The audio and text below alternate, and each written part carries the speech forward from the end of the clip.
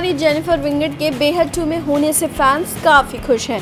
इसी के साथ एक तरफ़ जहाँ ये कंफर्म है कि बेहद के सेकंड सीज़न में जेनिफर ही दिखाई देंगी तो वहीं जेनिफर के अपोजिट कौन सा मेल एक्टर नज़र आएगा, इस पर फ़िलहाल काफ़ी सस्पेंस बना हुआ है। हाल ही में रिपोर्ट्स में बताया गया था कि हो सकता है कि बेहद टू में नामकरण फेम एक्टर विराट पटेल नज़र आए, लेकिन फैंस को तो कुछ और ही मंजूर है। जी हाँ फैंस तो बेहद टू में जेनिफर के साथ सिर्फ़ और सिर्फ़ हर्षद चोपड़ा को ही देखना चाहते हैं।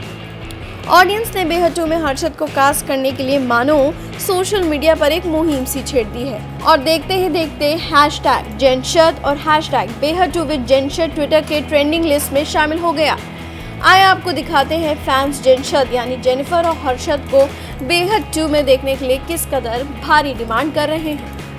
Cast iconic couple Jenshad again hashtag Beyhadh two with Jenshad People are waiting for Jinsha to reunite for any show and Behad 2 is going to reunite them soon. Keep pouring love to the power Jodi. Woohoo! The sexiest, hottest psycho lover Maya, Jennifer Wingate is coming back with her favorite show Behad 2. Super duper excited for Jenny's comeback. Please make Harshad Chopra in it too. I don't know what the result will be. For now, I would just say do not believe anything until we get the promo. Till then, keep working. Don't lose hope. Let's keep requesting by commenting on the post and tagging them. Let's not give up. Hashtag Behatu with Jinshad.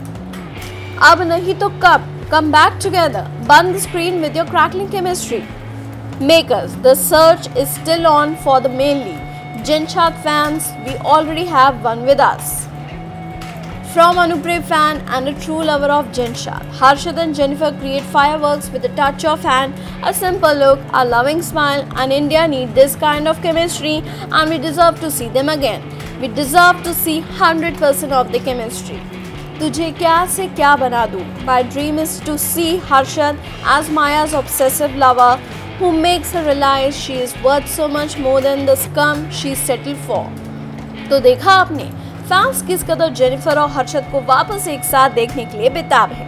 आपको बता दें कि Jennifer और हर्षद एकता कपूर के show बेपना में नज़र आए थे। शो में उनके जोया और आदित्य के किरदार ने ऑडियंस का दिल जीत लिया था। और जब से ही ये शो ऑफेयर हुआ है, दोनों किसी नए शो में नज़र नहीं आए हैं। जेनिफर जहाँ बेहद के साथ धमाकेदार वापसी करने जा रही हैं तो वहीं फैंस हर्षद को स्क्रीन पर काफ़ी मिस कर रहे हैं। और वो चाहते हैं कि हर्षद जेनिफर के अपोजिट बेहद टू में बेपना जैसी रोमांटिक केमिस्ट्री क्रिएट करते नज़र आए। अब ऐसे में मेकर्स फैंस की इस भारी डिमांड को ध्यान में रखते हुए हर्षद को बेहद टू में कास्ट करते हैं या नहीं, ये देखना इंटरेस्टिंग होगा। वेल फ़िलहाल तो इसमें आपकी क्या राय है? बेहद टू में आप जेनिफर के अपोजिट किस एक्टर को देखना चाहते हैं? लिखिए अपनी चॉइस कमेंट सेक्शन में।